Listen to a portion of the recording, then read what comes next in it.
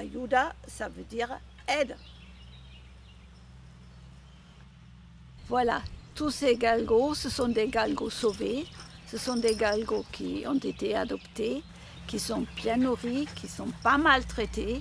Et c'est la récompense du travail pour notre association Ayuda de voir tous ces galgos enfin très heureux. Galgos, ce sont des chiens très très sensibles qui aiment bien être avec leur maître, qui aiment bien avoir une relation avec les personnes avec lesquelles ils vivent. Ce sont des chiens qui sont jamais agressifs, ce sont des chiens très doux, qui aboient pas, et ce sont des chiens qui sont très très agréables à vivre. Galgos, ce sont des lévriers espagnols qui sont élevés en Espagne en grande quantité pour trouver toujours le meilleur et euh, ils sont utilisés pour une chasse très particulière que j'appellerais une chasse spectacle, parfois pour des courses. Mais au bout de deux à trois ans, disent les galgueros, un galgo, il est important pour nous, on les aime, mais ils n'ont plus aucune utilité pour nous. Donc, au bout de trois ans, ce chien est tué, parfois confié à un refuge ou abandonné dans des territoires arides pour devenir chien errant. C'est pour ça Ayuda voudrait aider ces chiens-là de trouver un nouveau foyer, parce que Ayuda, ça veut dire aide. Voilà, ça fait deux, ans que j'ai des galgos, j'en ai eu un accueil et puis ensuite euh, j'ai adopté Nemo. Et c'est des chiens qui ont euh, déjà aucune agressivité entre eux, qui s'entendent bien. C'est des chiens qui sont très peu aboyeurs et puis qui sont énormément calmes, qui sont discrets. Donc je peux l'amener partout et ils posent vraiment comme problème. C'est des chiens qui sont même apaisants, qui sont relaxants, voilà, qu'on peut amener, euh, amener partout, qui ne posent pas de problème. Qui s'entendent bien, j'ai deux autres chiens et qui s'entendent bien. Tous les galops que j'ai eu en accueil, ça s'est toujours bien passé, ils ont, euh, ils ont été intégrés de suite. Le fait que les autres chiens doivent ressentir tranquillité, et c'est vrai que c'est vraiment des chiens attachants, euh, qui ressentent beaucoup de nos émotions, encore plus que les autres chiens, voilà, et qui sont vraiment, euh, vraiment très attachants.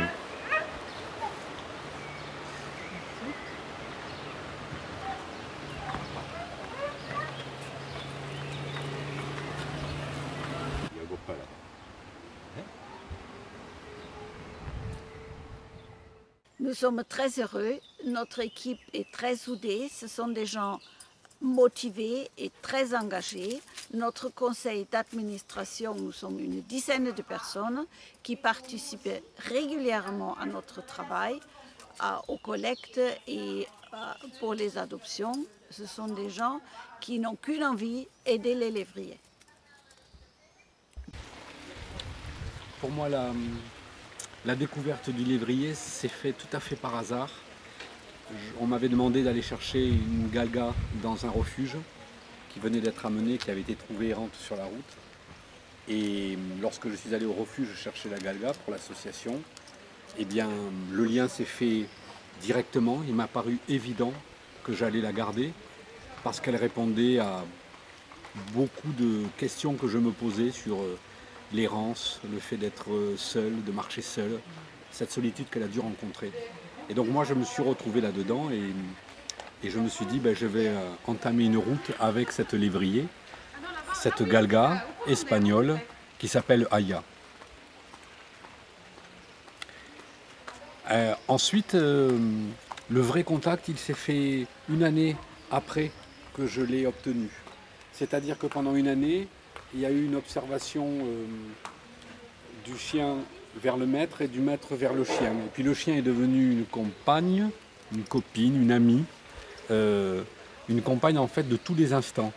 Et un jour dans la rue, je l'ai appelée, elle est revenue directement et elle s'est assise à côté de moi. Et ce jour-là, je me suis dit, le contact entre le chien et le maître s'est fait naturellement.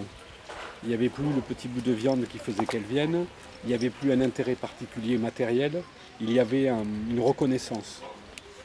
Et c'est cette reconnaissance que j'ai su lire un jour dans, le comportement de Aya. Alors cette chienne, c'est Maya, c'est la chienne de Monica. Moi, ma chienne, elle est au soleil en train de se reposer à la maison parce qu'elle est quand même âgée et puis elle a la leishmaniose. Donc un traitement simple que je lui donne tous les jours et qui fait que je la laisse maintenant se reposer parce que c'est une vieille mamie. Mais le cœur des chiens Galga, que ce soit Maya ou Aya ou les autres chiens que je rencontre à l'association, ou Floyd, le chien de Florence, eh bien je retrouve toujours ce même regard qui est propre aux lévriers et aux galgos. Toujours cet intérêt et cette reconnaissance qu'ils ont qu'on se soit occupé d'eux. Ils le sentent, ils le savent. Donc j'accepte qu'elle dorme sur le lit. Un lévrier qui n'est pas sur un lit, c'est pas un lévrier. Et j'accepte qu'elle dorme sur le canapé, parce que quand elle est dans le canapé, elle est chez elle, et on passe du temps ensemble. Et ça, c'est agréable. Pour notre association, il est très très important qu'une adoption devienne une réussite pour le chien qui vient et aussi pour les adoptants.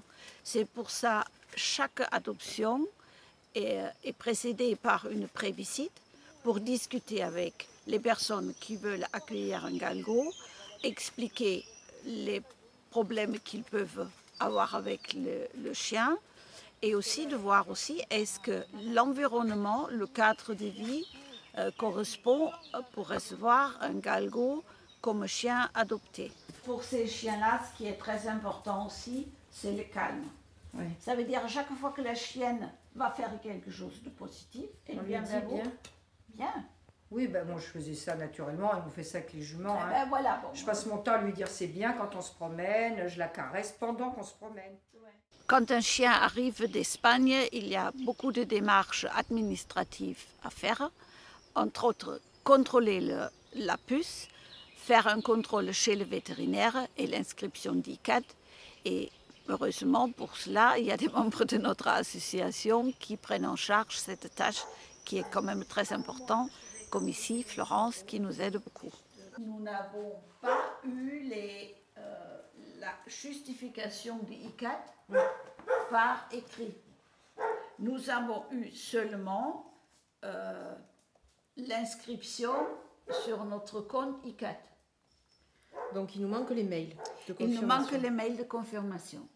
Alors j'ai rencontré un galgo euh, auprès de Monica qui en avait adopté une que j'ai trouvée vraiment magnifique, très douce et j'en suis tombée amoureuse. Donc euh, j'avais un chien moi qui était l'opposé, un boxer qui était très beau avec qui je jouais bien mais qui n'était pas du tout doux et euh, pas sociable. Je ne pouvais jamais le sortir euh, en compagnie, etc.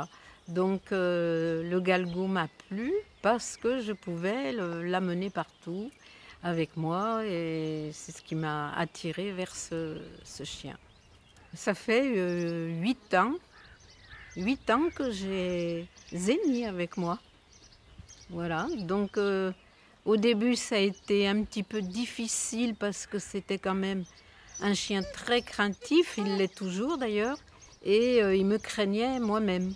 Donc il a fallu euh, que je m'adapte à lui parce que euh, c'était à moi à aller vers, euh, vers lui et, vraiment à lui apporter la douceur, le rassurer. Et puis petit à petit, il s'est calmé et donc euh, bien se promener et puis courir. Voilà, et vagabonder. Voilà. C'est un poète, comme sa maîtresse. Hein? Voilà, c'est ça. C'est pour ça qu'on s'entend bien tous les deux. Hein? Eh oui, il m'a appris euh, beaucoup de choses.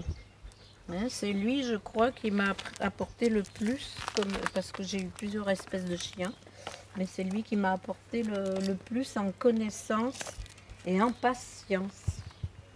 Voilà, en amour des bêtes. Hein Eh oui.